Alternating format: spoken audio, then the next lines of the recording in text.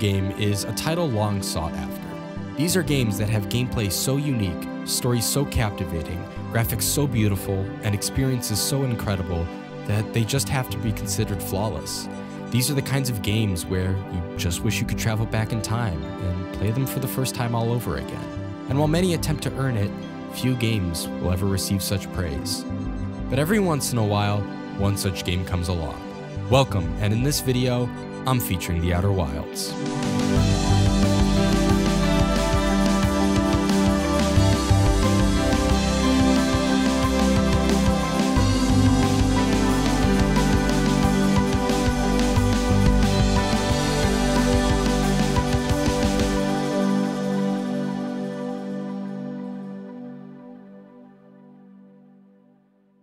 Before continuing, me and a lot of the Outer Wilds community recommend playing this game blind. That is, playing the game with as little knowledge of the events and experiences of the game as possible. While the first part of this video will not contain any major spoilers that will ruin the game, it will still spoil some aspects, details, and environments that would be better for the player to experience firsthand.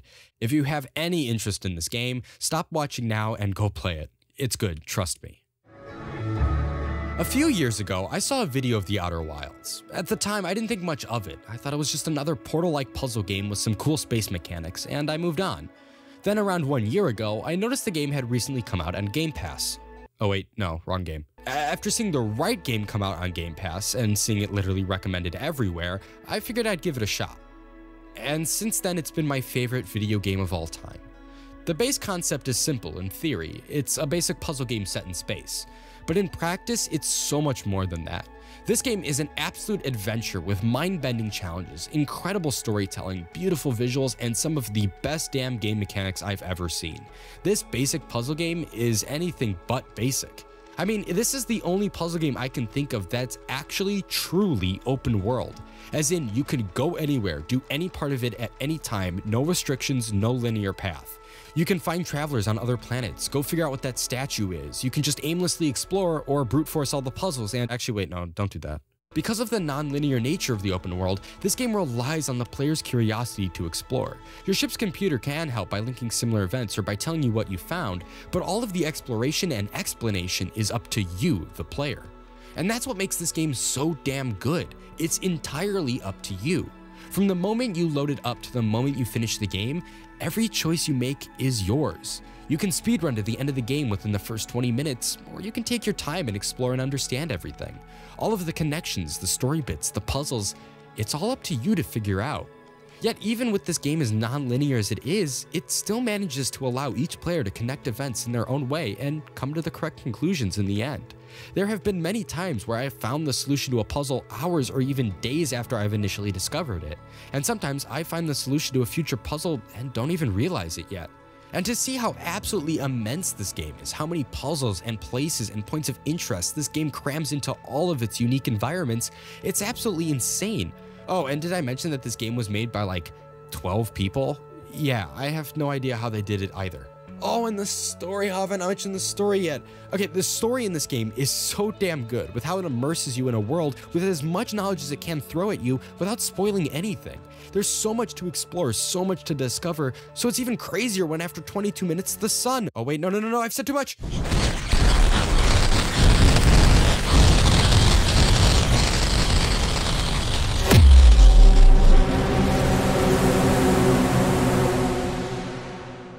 From this point onward, this video will be full of spoilers for both the base game as well as the DLC. You have been warned. Alright, so everyone that's never played before has definitely just left and is going to get the game, right? I hope. I think it makes sense to start where it all begins, and honestly, Timber Hearth is easily one of the most underrated celestial bodies. Maybe it's just because people want to leave and explore, but there's a lot here, and a lot of it's incredibly important. Obviously, the village is the main thing. In a game where danger is absolutely everywhere, the village is one of the coziest places. Especially since it's the place you respawn after you die, the comfy feel of the area allows you to take in everything that has happened in your past life without feeling too intrusive. It also serves as the tutorial area, but cleverly, the only tutorial you're actually forced to do is the jump tutorial. Every other tutorial is based on the player initiative, so it's not only skippable for returning players, but it also teaches new players to be curious. The tutorial is a tutorial in itself. It makes the player understand that they're going to have to search for answers themselves. And the other important task of the village is to point you in all sorts of different directions. From the Nomai text letting you know of some construction on Attlerock, to the quantum object in the observatory, to even just the scout letting you see the dark bramble seed, there's a bunch of things that lead you all over space. And the villagers here help you with this as well. In the first 10 minutes of the game, they direct you to four different planets and also give you some background as to the universe that you're in. And even besides the first loop, the villagers and other travelers help you greatly on your journey. They're there as a way for the game to acknowledge any questions the player might have about what keeps happening, while also staying in world and not spoiling anything. But remember how I said that this game is an open world puzzle game? Well, these directions and ideas you're given aren't just go here objectives, they're do what you want objectives. They're there for the player to be curious, to explore at their own pace, rather than being forced to go anywhere. The starting planet, while it may seem a bit lackluster to some, it's very important and it leads the way for what's to come. There's also Attlerock, but it's the smallest and least important location at- wait, what was that? Oh, I forgot about Esker again. Attlerock is usually one of the first places that people go, either because they like the idea of traveling to the moon or because it's the closest non Timber Hearth object in the system. But either way, Attlerock acts as a good intro to the rest of the universe. The North Pole Lookout especially is one of the most beautiful locations in the entire game, with its amazing sights, atmosphere, and best of all, music. Likely the next location on everyone's list, Brittle Hollow is one of the densest, no pun intended, planets in the entire solar system. On the surface, it may seem a bit barren, with few structures visible, and other than Hollow's lantern, only a couple things actually stand out on the outside of the planet, with most of them either inaccessible or a bit out of reach. But then the game slowly reveals the true nature of this place. In one of the most ingenious game design moves, reversing the role of the planet brings new life and easily makes this one of the most unique depictions of a planet I've ever seen. Maybe not the most realistic depiction, seeing as a black hole that size would easily swallow not only the planet, but also most of the solar system, but eh, who cares? It's a cool ass planet with a black hole in it. What's not to love? And the way that this planet is laid out perfectly encapsulates this uniqueness. By having everything hang down from the outer mantle of the planet, it creates a flipped traversing experience, wherein the danger comes from the player exploring rather than the planet being harmful itself. This planet only really becomes dangerous when you actually try and exploring and inevitably miss your jumps. Ah, fuck. Combine that with the planet just deciding it doesn't want to feel like a planet anymore, and you have a really great piece of game design. Plus, the planet falling apart ends up being a really good time-sensitive mechanic, especially since this planet has so much information on it. And finally, there's ol' four-fingered Riebeck. Riebeck is probably my favorite traveler in the entire game, simply because of how much of a scaredy cat he is. The way he explains how he got to the platform is not only really funny, but it also helps you discover the Hanging City, since it links the above ground surface to the underground. Oh, and I also love him because the platform he rests on allows for some sick saves from the black hole. But don't worry, because if you do fall in, you get thrown to the White Hole Station, which has its own set of information and puzzles for you to solve. This whole planet is crazy loaded with stuff, so despite being one of the first planets you want to visit, it ends up being one of the last you actually fully explore. Since it's the biggest planet in external radius, Dark Bramble doesn't count, Giant's Deep is one of the more eye-catching planets. It does help too that it is the first planet that's revealed to you. With its sprawling oceans and dotted islands, many waterspouts and unique currents, it certainly is one of the best atmospheres of any planet. It's a great take on the classic sci-fi water planet trope because while it still has all of the key elements, it has its own style such as the flying islands and walled off areas. And actually, those walled off areas pose a very unique and clever puzzle for the player, as it forces them literally to think outside of the box, whether that means above it or below it and the rest of Giant's Deep follows suit with unique mechanics, whether it's something that requires good timing on the player's part or just some decent exploration and logic skills. Each island is different, so it makes a planet that would otherwise be fairly monotonous very fun to explore. Oh, and I also love being launched into space when you least expect it. What the hell? But the real star of the show here is the sea current. I mentioned in the first part of this video how this game has the ability to tie discoveries together. Well, the ocean current in Giants Deep is one of the best examples of this, since in order to actually fully solve the puzzle, you need to visit almost every other planet. It's such a good example of how this game handles its puzzle solving. It's incredibly intricate, yet amazingly satisfying when you figure out how to do it. Or, you know, you can just fall from space to get in there. Rounding things off on this planet, there's my man Gabbro. Gabbro has one of the chillest, most carefree attitudes I've ever seen. As with every NPC, Gabbro helps the player connect the dots, in this case with the time loop. It makes sense a lot of players get confused when they first discover it, so Gabbro's explanation is very welcoming here. And I know that all of the other travelers have explanations for stuff too, but I just want to sing out Gabbro because he's just chill like that. I mean, he's literally a bro. Where do I even begin with these two? Even just looking on the wiki, these planets have so much happening compared to any of the other planets. I think that these two easily earn the most puzzles interconnected with other planets award, as almost every single location on these planets is brought up somewhere else first. There's so many ship rumors for the twins that hell, Ash Twin Project literally sits in the center of the map. But I think before anything else, I gotta address the elephant in the room, the sand. It sucks. It's rough and it's coarse and it gets everywhere, but the sand is the reason why these planets stick out so much in my mind. Not only does the sand make for some of the best visuals in the entire game, but it creates some of the best time critical elements as well. I swear, the sand rising in Ember Twin is on par with the Sonic drowning music in terms of stress.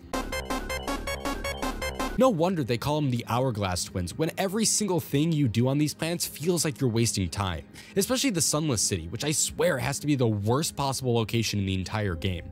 It's jam-packed with stuff to explore, but because the sand is always rising, you always have to just rush through it. And every single time, you'll wake up in the next loop and the ship will say there's more to explore here, like yeah, I fucking know there's more to explore there, I would have done that if the sand was a little less intimidating. But seriously, both of these planets are like that, and that's the point. It's a great way to integrate the time-wasting feeling that you get in every loop, while adding some energy to a game that's otherwise mostly calm. I said mostly.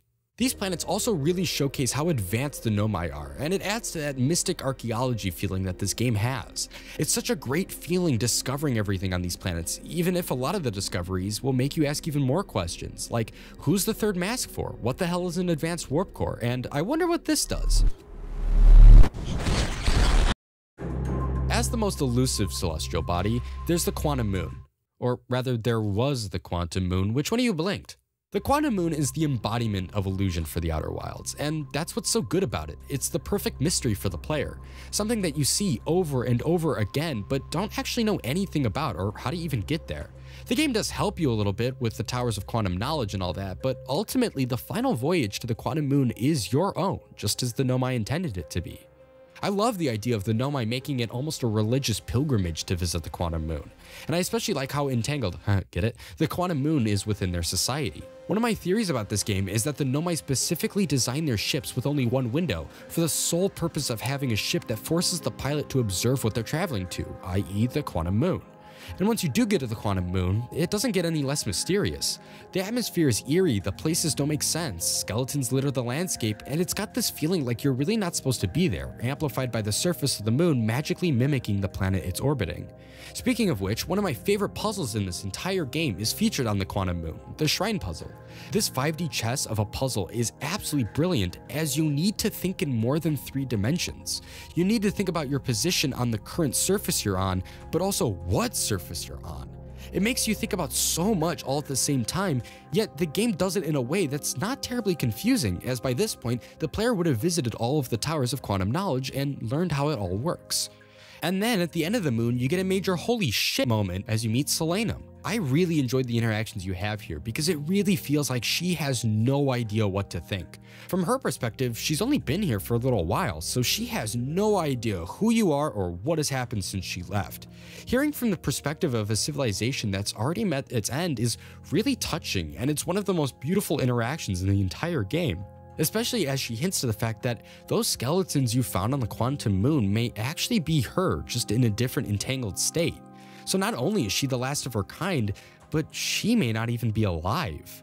All of which makes it so heartbreaking when you have to leave, as you're not only leaving her behind, but her kind's legacy as well. And the Sun Station is a fitting example of this legacy. There's a couple places in this game that make me feel sad, whether it's the Nomai relationships, Escape Pod 3, or the Interloper, which I'll get to in a minute. And Sun Station fits right in with those because it's the only instance we see of a Nomai failure. Everything has been set up for this all the projects, locations, builds, and now all of it's worthless. The Sun Station, in all of its beauty and complexity, was the biggest failure for the Nomai, even though in theory it would have worked. The Sun Station is where you discover that the Ash Twin project does work. The Nomai's plan for time looping is sound, they just never lived to see it. And as a consequence, the universe is dying without so much as a whisper. Its time has come, and it's taking everything with it. Speaking of which, the interloper homes in what's the worst part about the Nomai's end. I think what really sets in how tragic their end was has to be the different perspectives here. You find three different Nomai within the interloper, and all tell a similar but different tragic story, especially the Nomai on the surface, whose final words are asking for their fellow scientists, their friends, to come back.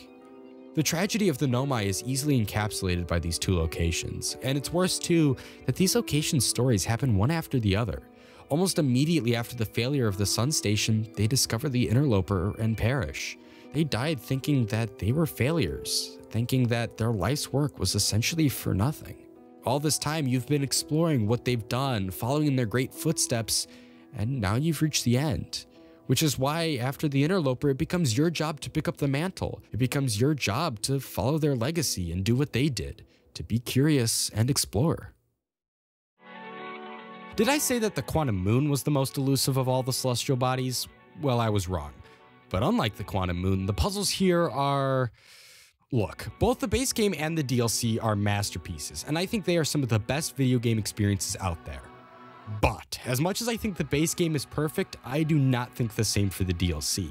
Again, I don't think it's bad, I wouldn't have brought it up in this video if it was, but as the base game is a 10 out of 10, the DLC is more like a 9. And really, it stems from one major thing the DLC relies too much on curiosity. Now, you're probably thinking that I'm a hypocrite since I praise the fact that the base game relies on curiosity to drive the story and exploration forward. But there's a point at which it becomes too reliant on curiosity and not enough on something telling me where to go. In the base game, from the moment you get going, the game gives you ideas as to where to go. But the DLC doesn't do that. It basically gives you a wide open space and says do it yourself. There were many, many times I was utterly confused simply because the game just never explained how to do anything. Like, the hell's this supposed to mean? But there is a reason why I'm still giving the DLC a 9 out of 10 and why I still recommend it. Because it's really fucking good. If you had told me before that this was gameplay from the Outer Wilds, I'd say that you're lying. But no, all of it's officially in the game. From the moment I first saw the stranger block the sun like an eclipse to the last time I rode its waters, all of it was such an amazing experience. The rapids, the music, the dam breaking, all of it's just so good. And that's just while you're awake. When I first downloaded the DLC and I got the warning that there might be some scary bits, it freaked me the hell out. Just like you should with this game, I had completely sheltered myself from any spoilers, so I had no idea what to expect. And so understandably, when I first began to explore the stranger, I was a bit jumpy.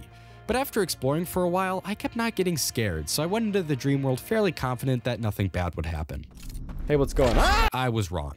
Even when the lights are on, the noises, the atmosphere, all of it just does not sit well with me. And it's not like the horror is cheap. This stuff's really good horror. And then the lights turn off and it goes from 100% horror to 110% horror. I actually like had to play the DLC during the day or I don't think I would have slept. And like I mentioned earlier, to think that this is the Outer Wilds, it's insane. Every time I die and come back, I'd get whiplash waking up next to Slate in the village. It's crazy that the devs managed to pull off this good of a horror game in a game that wasn't designed to be a horror game in the first place.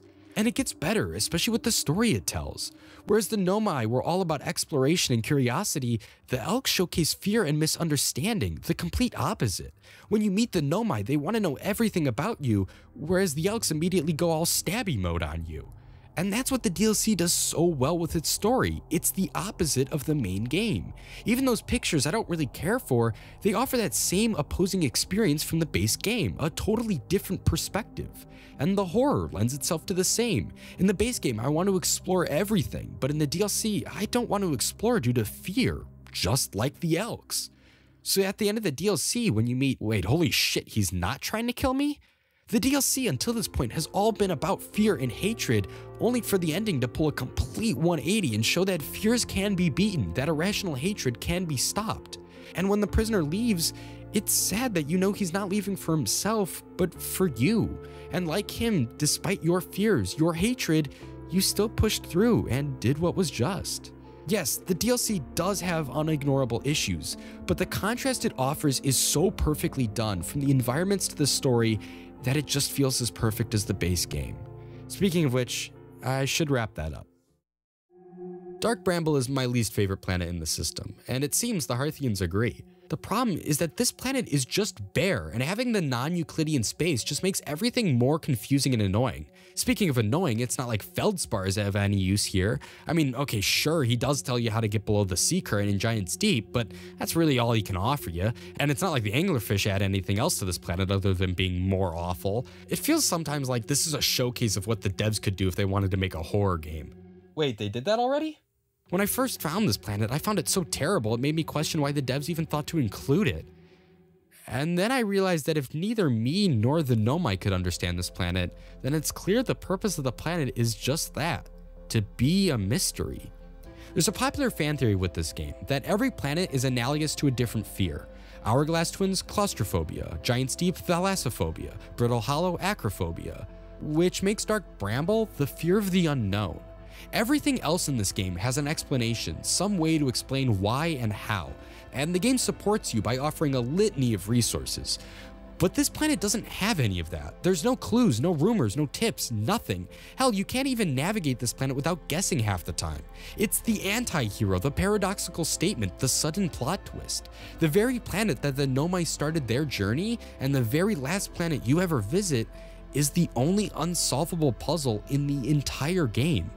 That's the purpose of the planet, to be an unexplained object in an explained universe, which is what makes it such a fitting end for this game, as you watch everything die out one last time.